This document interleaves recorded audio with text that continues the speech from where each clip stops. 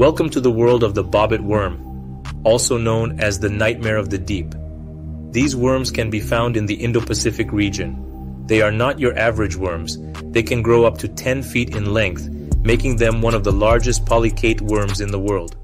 Bobbit worms are also formidable predators, equipped with strong jaws and sharp teeth.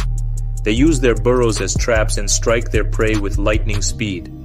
Their attack strategy is swift and deadly, making them one of the most feared predators in the ocean. Despite their fearsome reputation, bobbit worms are shrouded in mystery. They spend most of their time hidden in the sand, waiting for their next meal to swim by. As a result, they have been difficult to study in their natural habitat.